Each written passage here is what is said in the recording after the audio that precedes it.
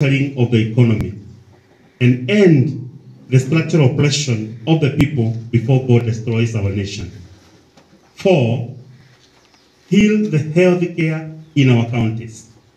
This regional conference has been saddened by reports of poor health, uh, health care status in our counties. Services in public health facilities have deteriorated owing to constant disputes between healthcare workers and county governments. Lack of medicine in pharmacies, poorly maintained diagnostic equipment, and shortage of specialists. We call upon all the gov governors of our counties to urgently address the spiraling healthcare crisis. Of essence is adequate uh, allocation of funds to health in the 2021 and 2022 county budgets. Five, the Building Bridges Initiative process.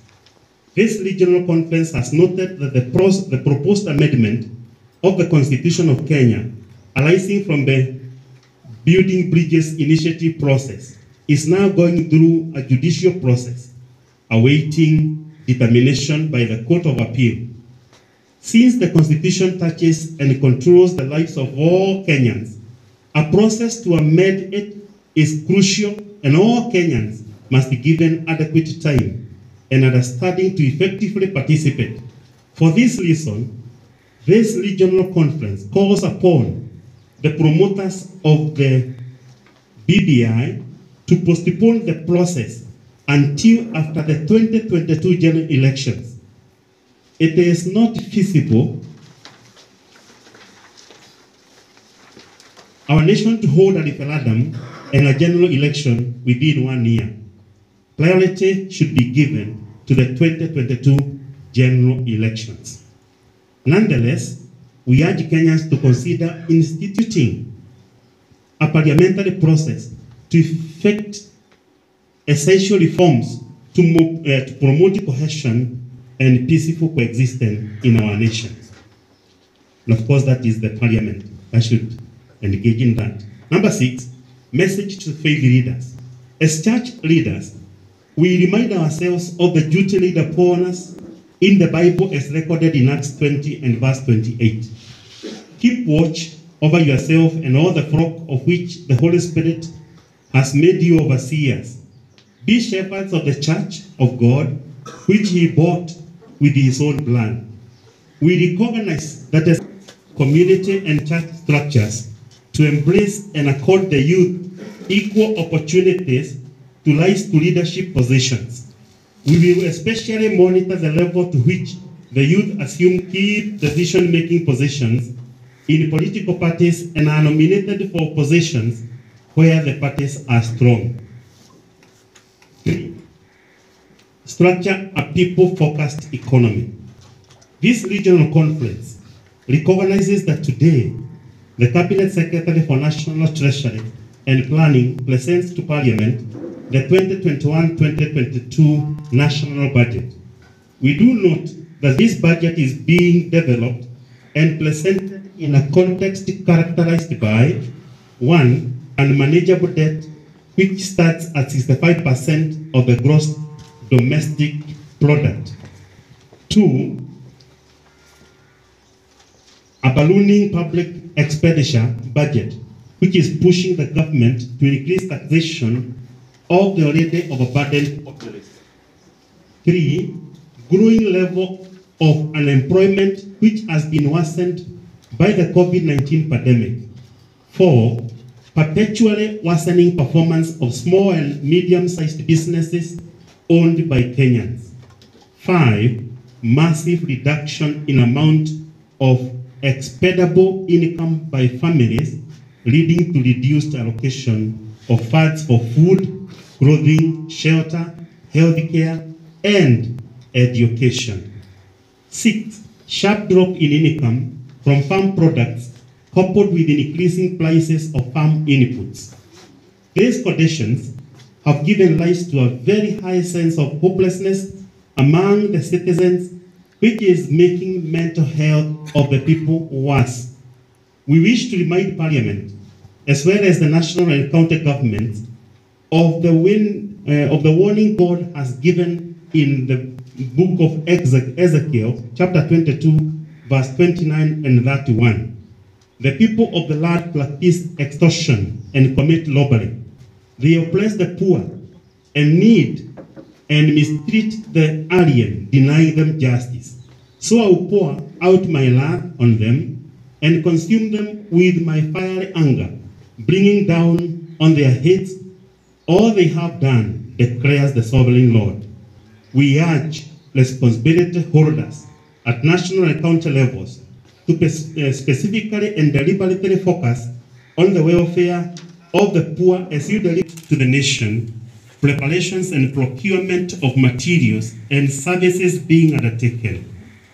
Failure to facilitate an independent review of the 2017 2017 general elections so as to identify the shortcomings that affect the, the elect, that affected the election, culminating in the nullification of the results of the presidential poll and boycott of the repeat poll by the leading opposition coalition.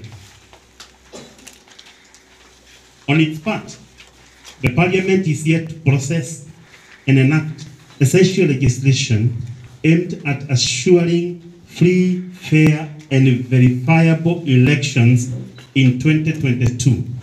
This include political party primaries bill, referendum bill, campaign finance amendment bill, representation of special interest groups bill, gender parity bill.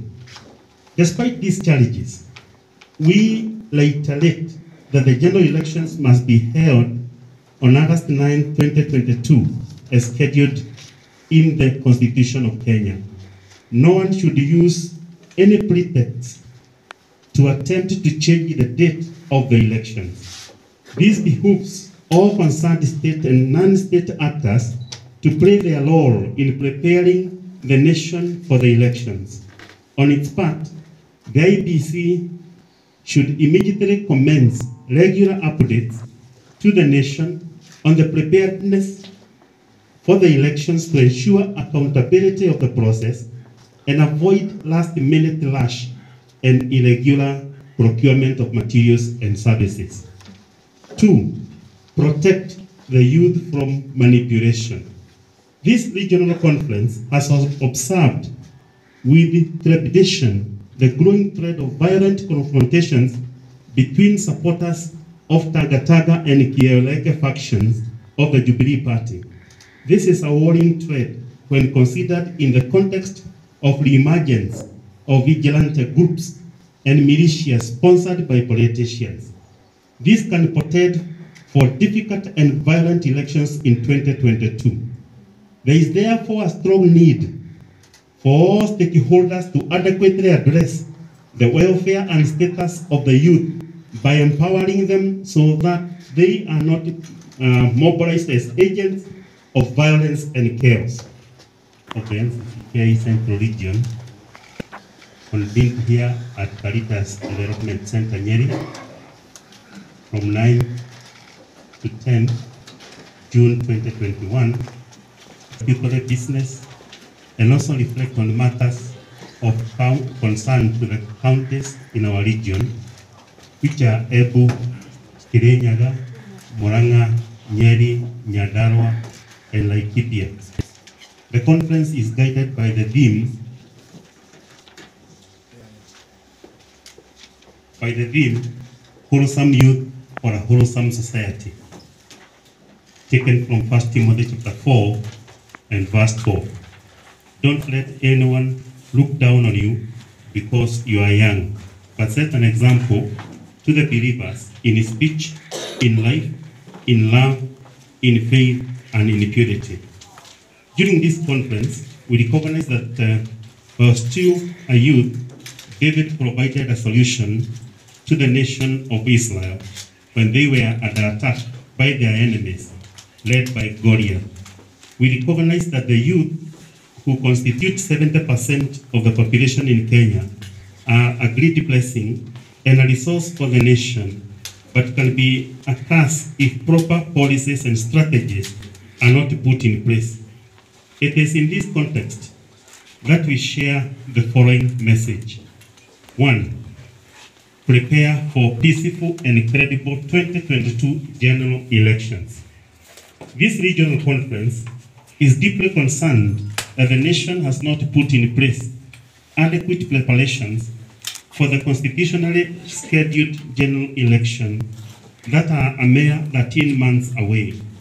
We especially note that the Independent Electoral and Boundaries Commission appears not ready to conduct the elections. This is due to incomplete composition of the commission, failure to undertake ongoing audit and update of the voters register, failure to communicate to the nation preparations and procurement of materials and services being undertaken, failure to facilitate an independent review of the 2017 2017 general elections so as to identify the shortcomings that affect the, the elect, that affected the election, culminating in the nullification of the results of the presidential poll and boycott of the repeat poll by the leading opposition coalition. On its part, the parliament is yet to process and enact essential legislation aimed at assuring free, fair, and verifiable elections in 2022. This include political party primaries bill, referendum bill, campaign finance amendment bill, representation of special interest groups bill, gender parity bill.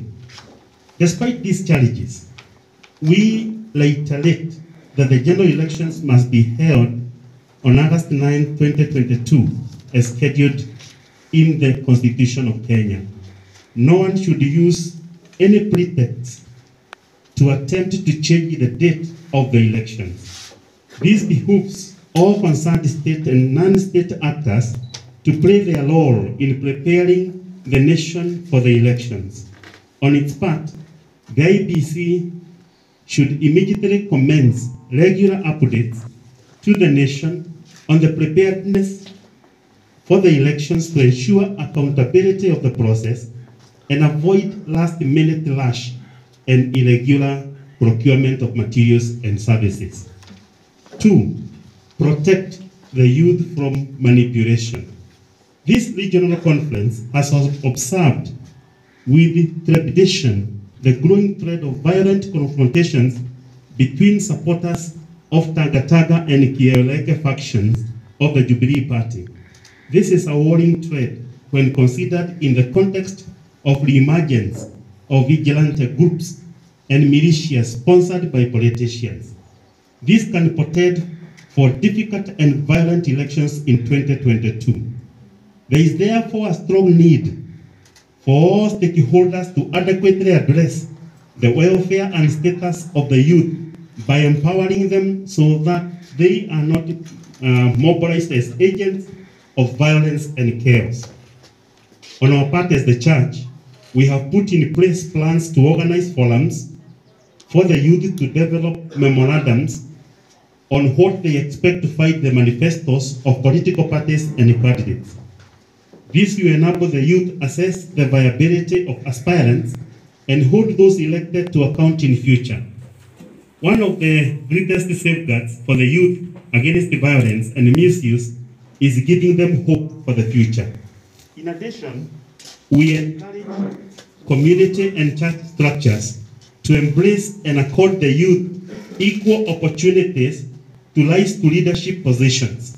We will especially monitor the level to which the youth assume key decision-making positions in political parties and are nominated for positions where the parties are strong. Structure a people-focused economy. This regional conference recognizes that today the Cabinet Secretary for National Treasury and Planning presents to Parliament the 2021-2022 national budget. We do note that this budget is being developed and presented in a context characterized by one, unmanageable debt which starts at 65% of the gross domestic product. Two, a ballooning public expenditure budget, which is pushing the government to increase taxation of the already overburdened populace. Three, growing level of unemployment, which has been worsened by the COVID-19 pandemic. Four, perpetually worsening performance of small and medium-sized businesses owned by Kenyans. Five, massive reduction in amount of expendable income by families, leading to reduced allocation of funds for food, clothing, shelter, healthcare, and education. Six, sharp drop in income from farm products coupled with increasing prices of farm inputs. These conditions have given rise to a very high sense of hopelessness among the citizens, which is making mental health of the people worse. We wish to remind Parliament, as well as the national and county governments, of the, win, uh, of the warning God has given in the book of Ezekiel, chapter 22, verse 29 and 31. The people of the land practice extortion and commit robbery.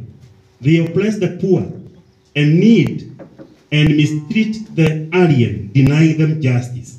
So I will pour out my wrath on them and consume them with my fiery anger, bringing down on their heads all they have done, declares the sovereign Lord. We urge responsibility holders at national and county levels to uh, specifically and deliberately focus on the welfare of the poor as you deliberate on the national and county budgets and subsequent structuring of the economy and end the structural oppression of the people before God destroys our nation. Four, heal the health care in our counties. This regional conference has been saddened by reports of poor health, uh, health care status in our counties.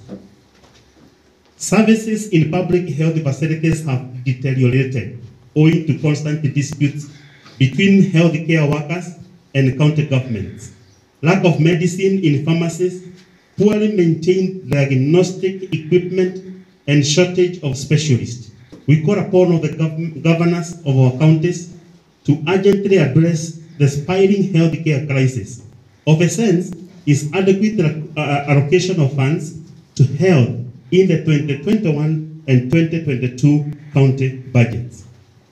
Five, the Building Bridges Initiative process.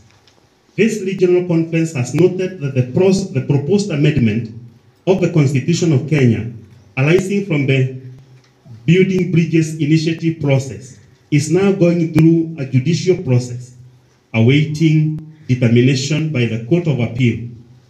Since the Constitution touches and controls the lives of all Kenyans, a process to amend it is crucial and all Kenyans must be given adequate time and understanding to effectively participate. For this reason, this regional conference calls upon the promoters of the BBI to postpone the process until after the 2022 general elections. It is not feasible our nation to hold a referendum and a general election within one year. Priority should be given to the 2022 general elections. Nonetheless, we urge Kenyans to consider instituting a parliamentary process to effect essential reforms to, uh, to promote cohesion and peaceful coexistence in our nation. And of course, that is the parliament that should engage in that. Number six, message to faith leaders. As church leaders, we remind ourselves of the duty laid upon us in the Bible as recorded in Acts 20 and verse 28. Keep watch over yourself and all the flock of which the Holy Spirit has made you overseers. Be shepherds of the church of God, which he bought with his own blood. We recognize that as the country enters the emotive electoral period, Many aspirants and political leaders, you seek to use the churches as platform for campaigns. However, we must not allow this. We must safeguard the places of worship so that they remain sanctuaries where all people, regardless of their status in society or political party affiliation, can come to meet with and worship God. Towards this, we advise our fellow church leaders to avoid asking for donations from politicians and aspirants so that they do not in return ask for opportunities to speak during worship services. Further, let us use our sermons and any other communications to promote peace and prosperity of Kenya. In conclusion, we conclude by praying that God will protect our nation even as we move into the season of elections. No Kenyan should be harmed, threatened, or terrified of the upcoming democratic process. The process of setting up a government of the people by the people for the people should not be a time of anxiety and fear, but a time of hope and joyful anticipation. As a nation, let us have faith in God and take time to fast and pray for the nation. Hold on to the inspiration of Philippians chapter 4, verse 6 to 7. Where the Bible says, Don't do not be anxious about anything, but in everything by prayer and supplication, with thanksgiving, let your request be made known to God. And the peace of God, which surpasses all human understanding, will guide your hearts and your minds in Christ Jesus. May God bless Kenya with peace and prosperity.